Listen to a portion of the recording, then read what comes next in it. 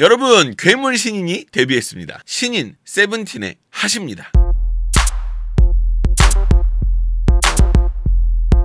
꼬바님들 안녕하십니까? 저는 16년차 댄스 트레이너 루다크리스입니다. 해당 영상은 제 개인적인 생각이 담긴 영상입니다. 여러분 시작 전에 아래 내려가면 뭐가 있죠? 좋아요 있죠? 좋아요 한 번씩 부탁드릴게요. 좋아요는 저에게 큰 힘이 됩니다. 좋아요 한 번씩 부탁드릴게요. 하나, 둘, 셋.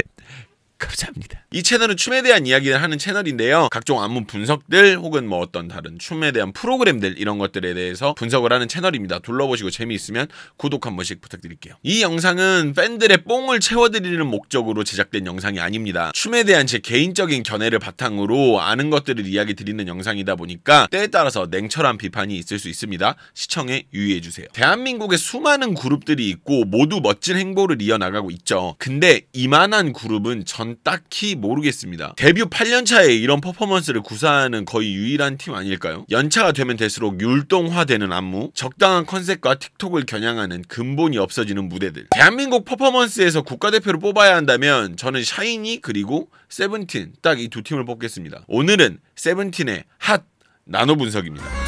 저는 세븐틴을 딱히 가수로는 잘 안 봅니다. 거의 댄서로 보는 편이라서 실질적으로 세븐틴 음악이 저랑 잘 맞지도 않고요. 제가 가요계 최고 퍼포먼스로 뽑는 홈런 역시도 춤을 보는 용도 말고는 제가 따로 들어보진 않는 그런 거니까 저는 이렇듯 안 맞아도 저랑 맞지 않아도 인정할 거는 충분히 인정하는 사람이라서 제 입에서 인간적으로 잘한다 라는 말이 나오면 충분히 뭐 괜찮다라고 생각하셔도 될 것 같아요. 그런데 세븐틴이 새 노래를 들고 나왔습니다. 안무는 명불허전 세븐틴이기 때문에 긴 말 없이 바로 보겠습니다. 같이 보시죠. 자, 초반부에 isolation이 진짜 말도 안 된다. 한번 보실게요. 그러니까 isolation이라는 게 뭐 몸을 분리하고 이것뿐만이 아니라 몸에서 이렇게 있는 상태에서 이렇게만 움직이는 이런 것들도 isolation으로 봐야 되거든요. 근데 지금 이런 것들 자체가 전체적으로 그렇죠. 구분 동작이 정말 깔끔하고 써야 될 부분들만 정확하게 쓴다라는 점이 되게 인상 깊다라는 거야. 이 구간에서 재미있는 점은 파트 분배와 안무가 재미있게 나눠져 있다라는 거예요. 초반 민규의 그 모두 우릴 쳐다봐 여기에는 전체가 움직이거든요. 보시면 그쵸 전체가 움직이잖아요. 그래서 자연스럽게 시선이 가운데로 딱 쏠리는데 이후에 번원에 여기 봐그 글자에 나오는 요 여기서 본인이 동작이 바뀌면서 가운데에 있던 시선이 이렇게 이쪽으로 멀지 않은 공간으로 옮겨진다라는 거죠. 그래서 이후에 달려 아 여기 봐주고 여기 보다가 여기 맞고 이런 식으로 진행이 된다라는 거죠. 근데 여기서 재밌는 부분이 이 다음에 어 할 때 이걸 안 버리고 또 전체가 팔을 뻗는 안무로 구성이 되어 있어요. 근데 여기서 또 보면 뒤쪽에서는요 이렇게 손 보이시죠? 어 이거 일리네어 사인스업인데 뭐 여튼 여튼저튼 간에 전체 그림이 비어 보이지 않게 하려고 총 모양을 들고 이렇게 빈 공간들을 다 채워주고 있죠. 그것도 한 번씩 방향 바 이 앞그룹하고 뒷그룹이 또 맞아요 동작이. 박수를 치는 모습으로 끝이 나는데 보면 여기서 박수 치는 동작도 굉장히 예뻐요. 시작 전에 브릿지 동작이 있어요 보시면. 방금 여기 있죠? 나올 때 그러니까. 이거 돌리는 게 정박 포인트 안무인데 이제 이 앞에 들어올 때 잘 보면. 그죠? 하, 아 하고 나서 여기서부터 이렇게 돌린다고. 딱 멈추는 형태를 만들어 줬기 때문에 빠르게 돌리는 동작이 더 돋보여요. 보시면 이렇게 딱 일단 멈추는. 그러니까 여기 딱 멈추고 돌리니까 어제 쫄쫄 굶고 오늘 밤에 교촌치킨 먹는 느낌. 알죠? 이렇게 가잖아. 근데 보시면 얘 잘 보시면 여기 지금 여기 여기 안무를 볼게요. 봐봐. 방금 뭔가 하나가 있었죠 그러니까 이 렇게 가는 방향이 나오잖아 안무가. 이렇게 이렇게 간단 말이야. 좋아 좋은데 이때 보면 들어오는 동작들. 요거 잘못하면은 고란이 되는 거야. 그리고 여기 또 여기 여기 보면 치는 사람과 움직이는 사람을 갈라놨어요. 어 이렇게. 보시죠? 보이시죠? 이렇게. 들어오는 사람들 따로 있고 치는 사람들 따로 있고 요렇게. 근데 가창이 약간 깔아주는 느낌이 생기니까 그 부분에 이렇게 맞춰둔 것 같아요. 근데 순간적으로 치는 사람과 들어오는 사람들이 착 나눠지는데 저는 좋더라고요 이 부분이. 다시 볼게요. 네 가사가 나나나 이렇게 되니까 딱 이렇게 들어오는 것 같아 잘하죠? 자 그리고 이 마당에 또 시작하기 전에 브릿지를 이렇게 만들어 뒀어 또. 보면 그냥 시작을 못하는 세븐틴을 보게 되실 겁니다. 향해라는 동작에 스미즈라는 동작이거든요 지금 이게. 옆으로 이동하는 거